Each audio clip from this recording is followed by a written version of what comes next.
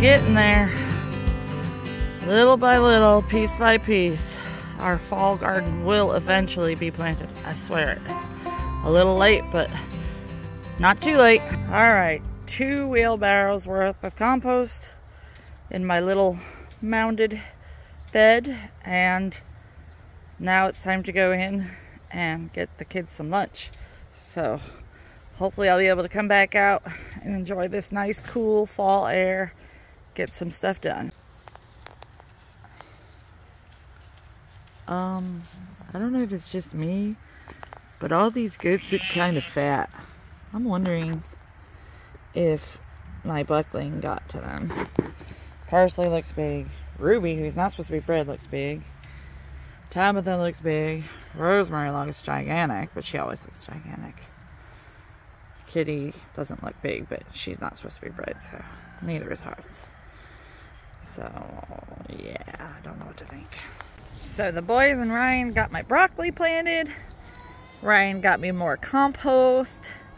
And we are hopefully going to get the rest of the plants in the ground very soon. We're just dealing with a lot that has to be done on the homestead. In the background there, we have a major project that we're working on. We are doing our first two hogs for the first time. So we're at the scalding and scraping process. It's going pretty good. We had to shift our plan a little bit, but we're improvising and making it work with what we have. So we're getting there. We're just boiling some more water now to raise the temperature back up again and almost to the point where we're about at the halfway mark on the first one and the second one will be going in next. We feel so blessed to have this food on our homestead that we grew ourselves from delivery all the way to the end.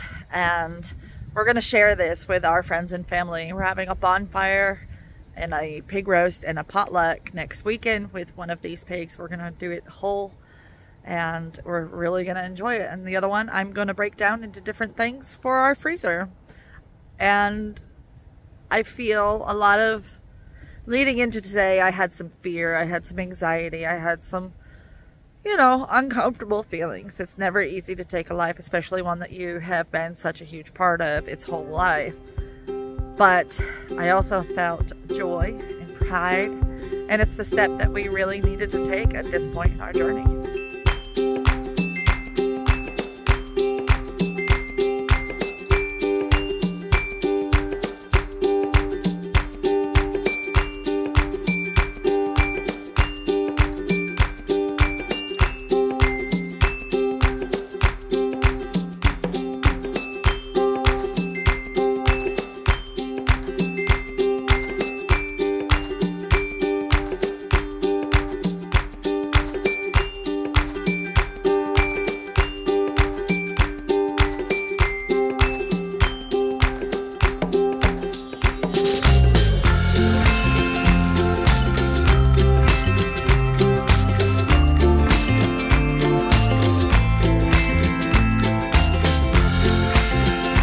Yesterday was a really big day in our homesteading journey. The first time that we intentionally took the life of a four-legged animal for food. And it was hard. A lot of people don't talk about that, but we have wanted to do this for a long time and we have delayed and delayed and delayed until we finally had the courage to do it.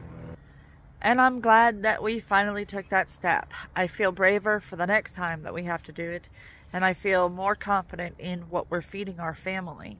And feeding our family better quality food is really important to me. So I feel really good about this, and it was a lot of hard work, and we worked into the night with flashlights and everything. But we got it done. So this week I'll be working on breaking down one of the hogs and the other one will be getting brined on Thursday and will be becoming a whole hog roast on Saturday. And I'm so excited to share this bounty with our friends and family. While there's life and death on the farm and the homestead, the fall garden dies, the cucumbers are dying, the summer squash is dying just behind, the snake gourd beans are thriving. So there's always life and death. We have peppers that are thriving. We have snake gourd that is thriving. We have eggplant that is thriving. And we're getting all of our fall starts put in the ground. And I'm starting to see a pattern that's emerging from coming back into this life with more health under my belt so that I can work through things and actually get things done. I may not get things done as fast as others, but I'm getting there at my own pace. And part of that pace is I've slowed down on video production, in case you haven't noticed. But it's because I've been so busy with the fall harvest and everything that we have going on here. So I'm grateful for the slowdown too.